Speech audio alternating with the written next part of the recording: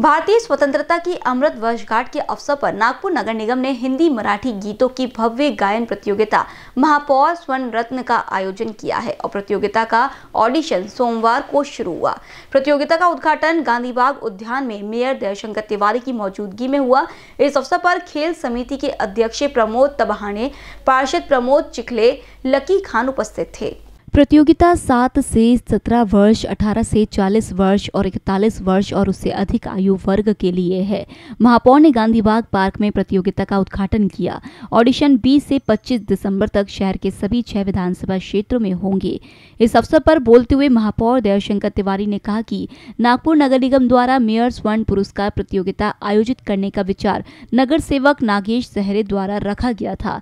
इस अवधारणा को ध्यान में रखते हुए खेल एवं सांस्कृतिक सांस्कृतिक समिति के अध्यक्ष प्रमोद तबहाड़े और पूर्व अध्यक्ष प्रमोद चिखले ने पहल की और इस संबंध में कार्रवाई पूरी की। इसी का नतीजा है कि आज प्रतियोगिता का आयोजन किया जा रहा है। विभिन्न उम्र के नवोदित कलाकारों को अधिकारों का मंच देने के उद्देश्य से नागपुर शहर में सभी आयु समूह के लिए प्रतियोगिता आयोजित की जाती है। महापौर ने यह भी विश्वास जताया कि उनके शहर के कई प्रतिभाशाली कलाकार इस प्रतियोगिता से आगे आएँगे और भविष्य में अपने शहर और देश को प्रसिद्ध बनाएँगे। द्वारा आज़ादी की अमृत महोत्सव निमित्त इस वर्ष हमारे मित्र भाई नागेश सहारे जी के मन में एक संकल्प था कि महापौर स्वर रत्न अवार्ड नागपुर महानगर पालिका के माध्यम से दिया जाना चाहिए।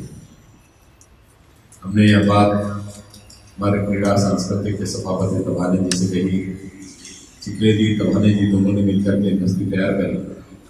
और आज वह शुभ प्रसंग है कि हम उस कार्यक्रम की शुरुआत करने जा रहे हैं। कैमरा पर्सन राजकुमार मोहर के साथ अभिषेक पानसी बीसीएन न्यूज़ नागपुर।